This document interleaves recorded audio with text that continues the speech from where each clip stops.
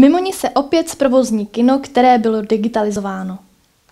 Návštěvníci se mohou těšit nejen na první laserový projektor v České republice, ale i na zvuky Dolby X7.1 a nejnovější 3D systém. Mimoň se po dlouhých pěti letech dočkala digitalizace kina. Proč právě teď, pane Škubale? Eh, když se podíváme trochu do minulosti, tak eh, tím důvodem, proč byla ukončena projekce v, eh, v kině Domu kultury Jalsko, tak tím nejdůležitějším důvodem byla končící distribuce na klasických analogových filmových pásech a vzhledem k téhle záležitosti dál kino bylo neudržitelné, protože těch filmů, které na těch pásech vychází, bylo čím dál tím míň. Samozřejmě v tom roce 2011 Tady eh, v kině nebo v Domu kultury Jalsko probíhala výstava Beatlemanie, která na dlouhý čas vlastně přerušila provoz Domu kultury eh, v těch ostatních záležitostech, které eh, Dom kultury pořádá. A v tom samém roce byla podána žádost o dotaci ze státního fondu pro rozvoj kinematografie, která byla podpořena, zároveň bylo provedeno zadávací řízení tehdy na technologii pouze ve 2D, bez eh, náhrady eh, stávajícího zvuku. A ta celková částka byla 1,6 milionů, ta podpora od eh, státního fondu kinematografie byla 300 tisíc korun.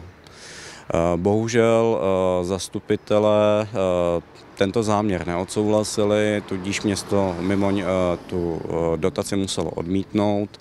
A po těch dlouhých pět let eh, se eh, téměř nic nedělo. Až v roce 2015 eh, dalo zastupitelstvo města souhlas s podáním opětovné žádosti o dotaci.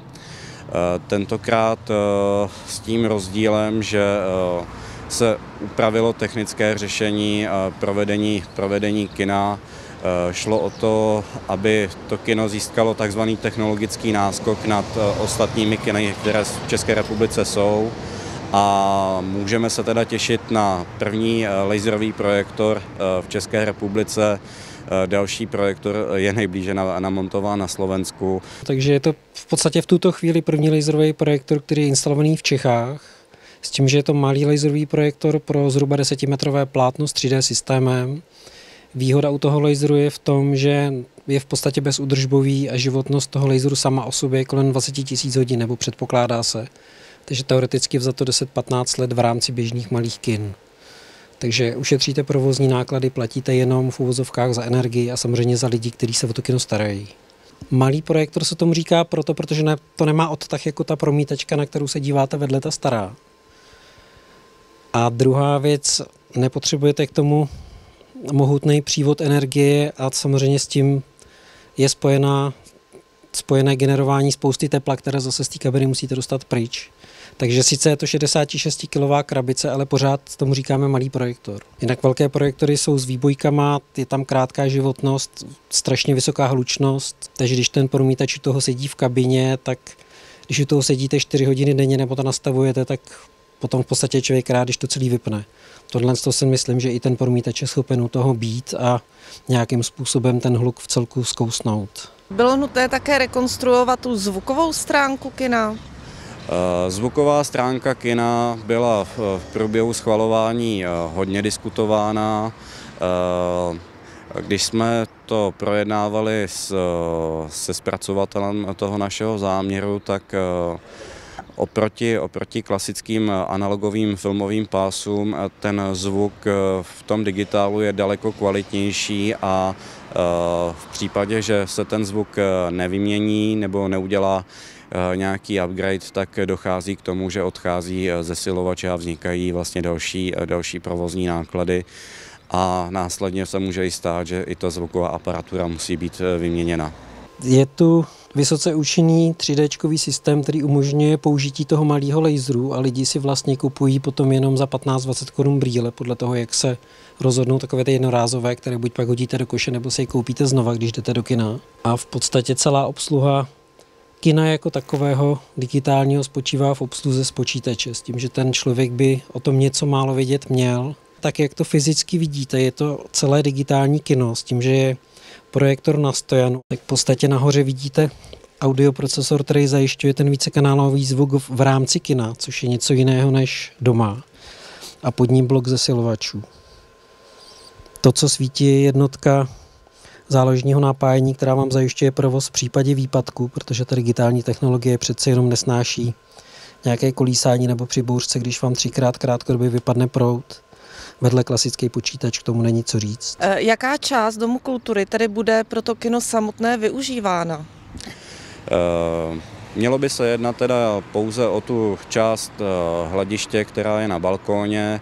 V současné době tam je kapacita nějakých 154 sedících diváků a v letošním roce město požádalo o další dotaci, tentokrát právě na modernizaci těch sedaček, čímž by teda sice mělo dojít k redukci počtu sedících eh, návštěvníků, ale mělo by dojít k radikálnímu zlepšení komfortu a eh, hlavně jakoby eh, k obnově, k obnově kvality toho kina. Zároveň s tím je spojená i výměna, výměna podlahových krytin na tom hledišti a co se týká jakoby budoucího rozvoje, tak je nutné zainvestovat ještě do eh, jevištní osvětlovací techniky a následně eh, bude nutné řešit stav podlahy na sále a na jevišti. Počítá se do budoucna také s bezbariérovým přístupem?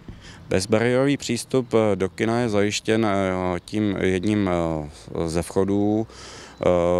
Bohužel ten to umístění kina v současné době eh, um, umožňuje promítání pouze eh, přes ten balkón, eh, takže bude nutný řešit buď nějakou zdvihací, zdvihací plošinou, to znamená, že tomu domu kultury se další investice nevyhnou. Zároveň je plánováno nebo plánováno. Dá se říct, že pokud se bude chtít kino přiblížit nějakému komfortu eh, těch klasických multiplexů, tak eh, se bude muset uvažovat i s úpravou eh, občerstvení, tak aby ten komfort byl srovnatelný s těmito kiny a mohla tady vzniknout jakási konkurenceschopnost. Jak často se bude v kině promítat? Mělo by být 30 projekcí do měsíce, Uvidíme, uvidíme, jaký bude zájem. Ten program by měl být různorodý a mělo by se jednat eh, nejenom, nejenom o klasické projekce eh, premiérových filmů, ale co je obrovskou výhodou těchto digitálních projektorů, eh, lze šířit i alternativní obsah. Ten alternativní obsah eh, je různorodého charakteru, eh, dost oblíbené, co víme, eh, jsou třeba i nějaké diskuze s cestovateli a podobně, kdy dochází k projekci záběru přímo na, na, to, na to plátno toho kina. Dál jsou možné i virtuální prohlídky muzeí, což bývá dost často taky jakoby zajímavou záležitostí. Jsou divadelní produkce, záznamy divadelních produkcí. Diskutovalo se například také o ceně vstupného?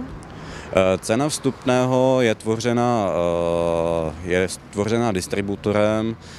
Ta cena vzniká vždycky na dohodě s distributorem. Samozřejmě jsou tam možné nějaké výkyvy, ale cena by měla být srovnatelná s ostatními kiny. V současné domě Důl kultury Ralsko tedy prochází rekonstrukcí. Kdy se začne promítat? Tohle je eh, zajímavá otázka.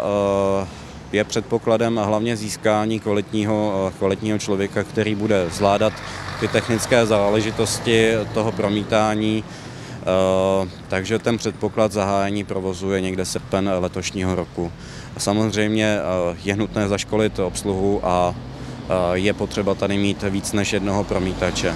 Každopádně bude tady jeden promítač nastálo, Říkáme mu sice promítač, ale měl by, měl by to být takzvaně dramaturg toho kina, který bude tvořit ten program. Zároveň bude mít na starosti i, eh, dejme tomu, přípravu, přípravu programu, eh, jednání, jednání s případnými sponzory, tak jak jsme třeba zvyklí na některých, eh, v některých kinech, kdy eh, v centrální části toho plagátu je program kina a okolo jsou různé takové ty malé reklamy těch sponzorů, který, který na ty plagáty přispívají. Budova Domu kultury Ralsko prošla velkou rekonstrukcí v nedávné době. Proč je tedy nutná další? Rekonstrukce proběhla někde kolem roku 2001. Eh, máme za sebou 15 let provozu a každopádně, eh, když když jsem hovořil o té podlaze, tak ta podlaha vykazuje každý rok závady v tom, že prostě ty parkety se zvedají. Nevíme příčinu, ale pravděpodobně je to zlínající vlhkost podlahou a ta podlaha už dostala docela dost zabrat a každopádně ty náklady na její opravu každoročně stoupají a kdyby jsme to spočítali za celých těch, řekněme, 15 let, respektive 10 let, kdy k těm problémům dochází, tak už by ta podlaha mohla být, dejme tomu, i nová. Jaké tedy byly náklady na digitalizaci kina a podílelo se nějakým způsobem město? Eh, město se na digitalizaci kina podílí částkou 3 miliony korun, eh, zbývajících 700 tisíc spoří dotace ze státního fondu pro rozvoj kinematografie a ještě v letošním roce eh, dojde k obnově osvětlení na, na velkém nebo na, na sále, které vlastně, jak si mohli návštěvníci všimnout, dost často trpí, trpí poruchovostí.